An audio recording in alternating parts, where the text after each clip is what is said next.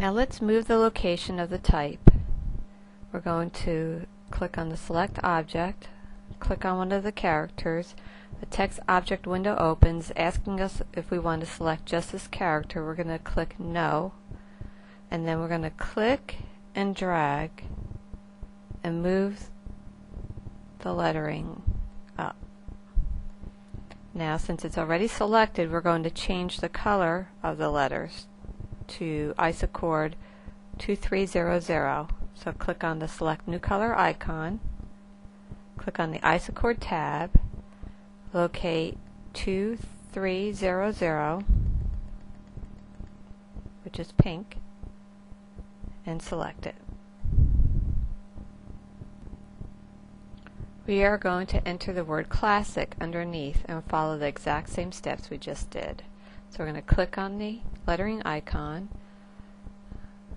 click in the work area, enter the word classic,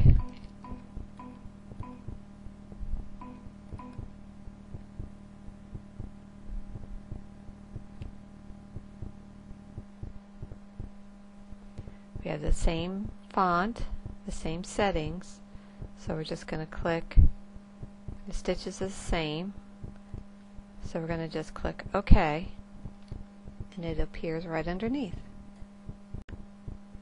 Selecting the lettering icon again, we are going to click in between the words woman and classic and enter the word golf all in caps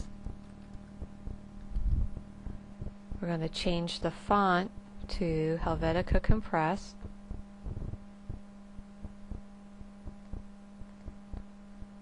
Change the character size to 0.526.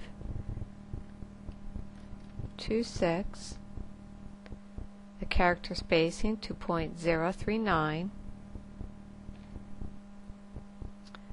Under the Stitches tab, we're going to keep the density the same at 63.659 the stitch length the same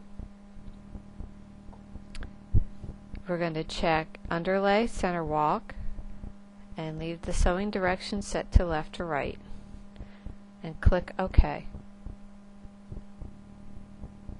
Now we want to change this color from pink to Isacord 4515 so we're going to click on the select object icon click on one of the characters we're going to say no because we want to select all the characters click on the select new color icon the Isacord tab and locate 4515 and select it Now let's move some of the lettering around. Since golf is already selected, we're going to click and drag it directly underneath women's. We're going to click on the select object icon and click on classic and we're going to click and drag and place that directly underneath golf. This is the center marking and I'm lining it up with the zero. Now we're going to enter a year right underneath here. So we're going to click on the lettering icon, click underneath. We're going to enter the year.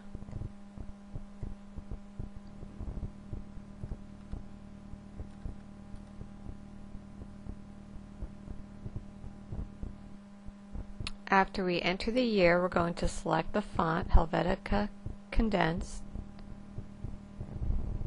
under character size, we'll enter point three nine four. Character spacing we'll leave the same. Under the Stitches tab, we're going to keep these settings all the same. Center walk underlay and left to right. Click OK.